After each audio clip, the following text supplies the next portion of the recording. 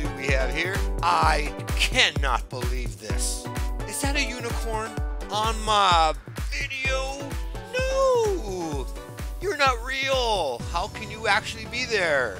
Unicorns don't exist. I don't know about that, Mr. Waara. How else would I even be seeing you if you weren't real because you wouldn't be on the page and therefore that means that you're yeah, okay. But that unicorn sure has one long explanation. However, I must say it was pretty logical. Anywho, oh my goodness, well he's kind of cool looking. Look at that. Got the blue mane going on and everything. Well, you know what? You're kind of cool, but You're not real. I know, I know. Hey, I know someone comes to mind, you know, when I think of someone who believes in unicorns. Yes. Although we won't mention any names. Yes, let's go ahead and get on with our video, my friends. As you can see, we are doing lesson 10.3. You can see that our topic here today is simply weight. Here's our essential question. This is our learning target, our objective, and what we're going to learn today. And it states, how can you compare and convert customary units of weight? Cool. Compare and convert. Now, convert, now that refers to like to change. And for us, customary units of weight, we use our units such as the pound. Okay, we could use maybe ounces. Okay, so those are the customary because that's what we here in the United States typically use. However, it's good to know that we're probably the, if not one of the very few countries that use these types of units. Most all the countries around the world use the metric system, you know, my friends, and it's a great, great system, I might add. But, anyways, you know, it's time to Unlock the problem. that's right, my friends. It's real world, baby. Real world. Real world. It says here that Hector School is having a model rocket contest. Oh, very cool. To be in the contest, each rocket must weigh four pounds or less without any paint. Hector's rocket weighs 62 ounces. If Hector wants to paint his rocket, what is the weight of the most paint he can use? Again, every time I read any type of word problem, I'm always thinking about how I can kind of here unlock the problem. That's right, unlock it, unpack it a little bit so I can get a better understanding what it's asking me. However, I think our little friend over here, the unicorn, is blocking part of our work. Now it says here, what weight does Hector need to convert? I'm also looking at the second question to see how this might help. After Hector converts the weight, what does he need to do next? So it's already letting us know by a guiding question that we need to maybe convert. Yes, I do. I see I see four pounds and I also see 62 ounces. And pounds and ounces are two completely different units of weight. We need to change. Pounds are a larger unit than ounces. There are, as a matter of fact, there are 16 ounces in one pound.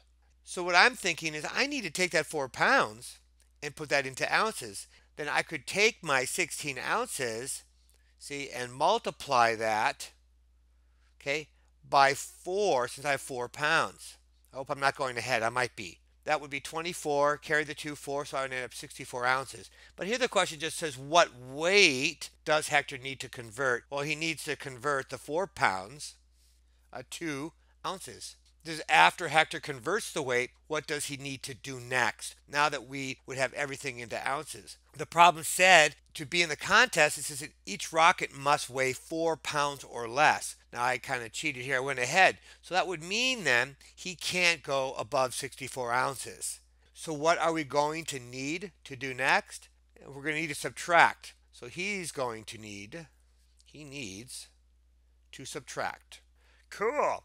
All right. Yeah. See you later, unicorn. Now, it does say here that you can use a bar model to write an equation. Okay. Now, I'll convert four pounds to ounces. Okay. And it's showing here, looks like we have our one group of, of, of 16 right here, right? Another group to 16 there. And so that's like four. So we're saying four times 16, which I did above. Remember that? Yeah. So I won't have to do it again, right? We ended up with 64. That's what four copies of 16 are. And then we come over here and it looks like that now we're going to record that. So we had the total pounds of four. What do we have here? Oh, okay, this one we're converting. There were 16 ounces in one pound. And then of course when you multiply that, you end up with your 64 ounces total. Cool, this is the bar model they're referring to. Step two, subtract the rocket's weight from the total ounces a rocket can weigh to be in the contest. And remember that was 64. We're subtracting the 62 because the 62 ounces, right, that was what his rocket weighs like right now without any paint on there. That's the actual weight was 62. So this leaves us with two ounces. That means he can only use two ounces of paint. And I'm not talking about volume of paint, but I'm actually talking about weight. So the weight of the paint can be at most two ounces for Hector's model rocket to be in the contest. Cool. Hey, that was really easy. Super, super easy. Now, should we look at this mathematical practices here down, down below since we have math talk? So how did you choose which operation to use to change from pounds to ounces? Oh, that's a great question. Great question. The operation, right? We only have four of them. Multiply, right? Divide. We have addition and we have subtraction. And it's asking us how do we know? And I'm going to say, since you know we had we had a larger unit. Whenever we go from a larger unit to a smaller unit, then we're going to need to multiply. So since basically here, since ounces are smaller than pounds, okay, that was how I needed more of the ounces. And there's 16 ounces in every pound. That's let me know I would need to multiply to get more of them. So I basically needed to multiply by 16, not to divide. Let me write those notes, notes down. Okay, it's page master. Woohoo! There we go. Yes, what do we have here now? Okay, now we have example. It says the rocket boosters for a U.S. space shuttle. Shut- Whoa, dude! what? Yeah, what are you? Oh, okay, I get it. Right, you weren't there, and so I'm saying you weren't real, but see, sometimes just because something's not there doesn't mean I'm not real. Ooh, that's a good one. You know what, Mr. Unicorn? You're one smart fella. I'll give you that. And you know, usually I make fun of some of the feature animals, but you know what? You're pretty you're pretty astute. Now, we need to get you off the screen though. I hope you don't mind. You made your point. A very good point I might add, okay? I'll let you take a ride on the space shuttle. There you go. All right. Have a blast. Like out in space and don't come back. All right. Now, back to the problem. Back to the regular programming. It says the rocket boosters for a U.S. space shuttle weighs oh my goodness, 1 million to 192,000 pounds each when the shuttle is launched. That's amazing. How many tons does each rocket booster weigh?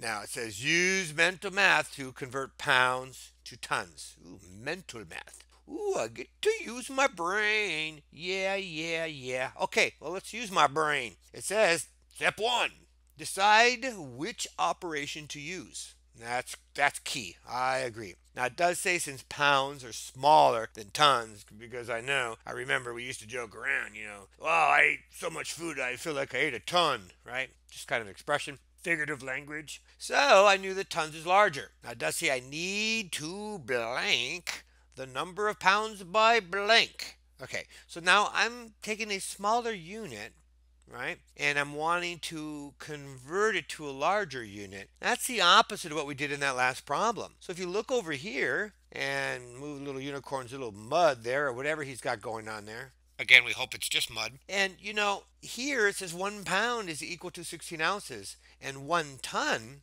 just by the character T says that it's equal to 2,000 pounds. So there's 2,000 pounds in one ton. So what I'm going to do is I'm going to divide. And that is just the opposite what we did last time because we were taking a larger unit, pounds, and converting it into ounces. But this time we're converting pounds into tons. And that's a change. So that means we're going to use the number based on our chart right here, our conversion chart, units of weight.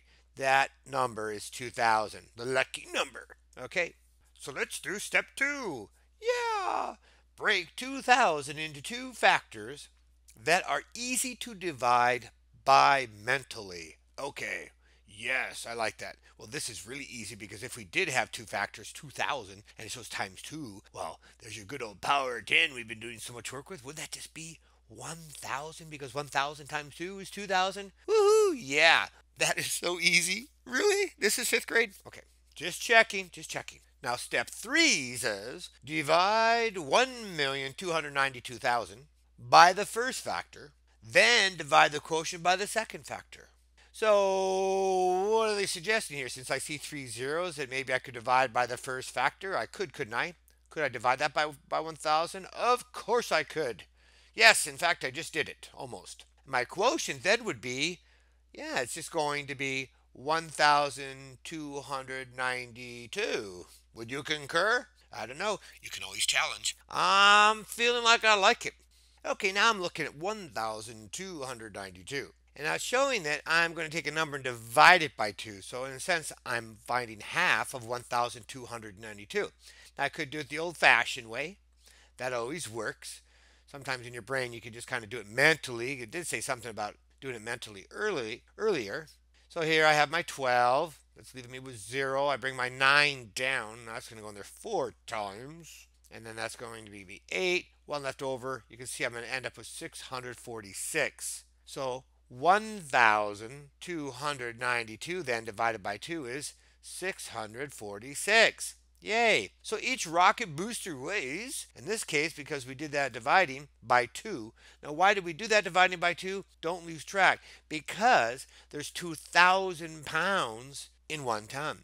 So that's why we're dividing by 2. Okay? 2,000 pounds in one ton. Okay? And don't forget, we were going from a smaller unit to a larger. When we go from smaller to larger, we need to divide because we don't need quite as many of that unit because the unit is larger. Okay. Okay, yeah, sure. Now, it's time for share and show. Share and show. That's right. Get those math boards out, my friends. Yeah, get your little dry erase marker and let's get busy. Now it does say use the picture to complete each equation. Okay?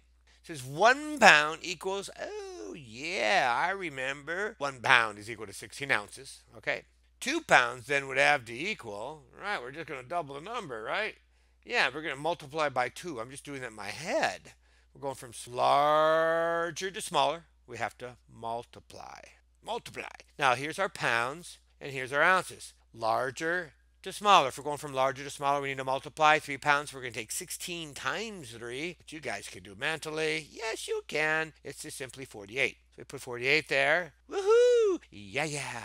Now D, we have four pounds. We're just adding on another 16, which is going to be 64. In fact, that number popped up, didn't it, earlier, I believe so, in the lesson? It did. Then five pounds, we're adding one more 16 giving us, I don't know, what is that, 80, 16, two, yeah, it's 80. Oh, I got so lucky. Yes. And now it says convert.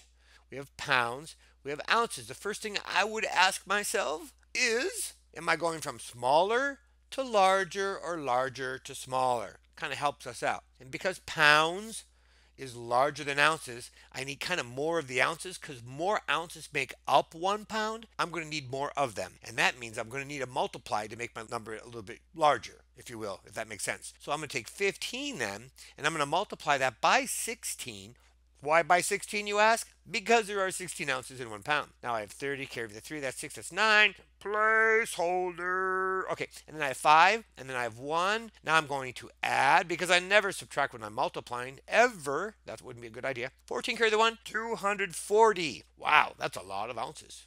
240 ounces. Yeah. You can see why it would be better to use the unit of measure of pounds because you don't have such a huge number. Now we come to number three. It says 3T. Woo! And that equals how many pounds? Well, here's my tons and here's my pounds. Well, tons is a larger unit, no doubt. So, pounds are smaller. I need more of them. Here we go again. This is a multiplying situation. Except this one here, pure mental math. 3T is 2,000 pounds in each ton. I'm just going to take 2,000 and multiply it by 3. I could do that in my head, my friends. 6,000. Woohoo! Yeah, yeah. Number four, 320 ounces. Yeah, is equal to, I don't know, there's a blank, but there's a pound sign. And if I have ounces and then I have pounds, I'm going from smaller, ooh, to larger.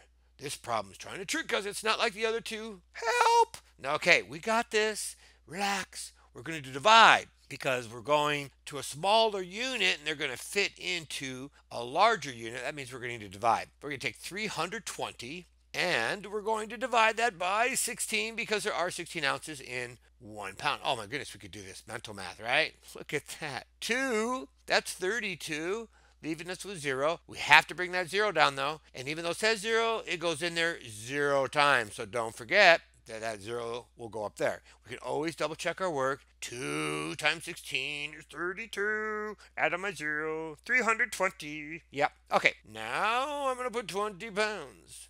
There we go. Oh my goodness, this math video is slowly coming to an end. I can just feel it. Oh, I wish we had like five more pages. No. Well, it does say we have some math talk here, mathematical practice. Let's see if we already covered this. It does say explain how you can compare 11 pounds to 175 ounces mentally. I'll probably just talk this one out. Basically, here, you know, hmm, how could I do it? How can I compare? Well, I would probably first want to do is take that 11 pounds, right? And put that into some ounces to see how that compares the 175. And since 10 pounds would be a power of 10. Like 10 would be easy to multiply 16. That would give me 160. Then I could add on another 16, giving me 176. Huh, there we go. And boy, that's really close. So that's within one ounce. Amazing, isn't it? Just amazing how that happens. Oh my goodness. Uh, you're really showing off your little magic tricks. You know what? That's what it is. You're magical. Maybe you're not real. You're just magical, Mr. Unicorn. Oh, oh, I'm sorry. Miss Unicorn. Ooh, my goodness. People can be sensitive, Even when even when you're not real. Just kidding. Hey, you know what? You're magical and you know what? I'll let you Whoa, yeah, you keep doing that. That's pretty pretty tricky, huh? It's actually gonna make you a little bit larger, but I'm having some issues. Come on, get big. Ooh, there you go. You're huge now, see? I made I brought you to the forefront. See, Miss Unicorn? Okay. hey, my friends, you know, it is time to say goodbye, and I hope that you found this math video helpful. Hey, if you like the math videos, become part of a growing team. Yes, subscribe. Now, and of course, if you like the video, give it a like, right? Is that what you guys say? Like it, my friends. All right, now, live long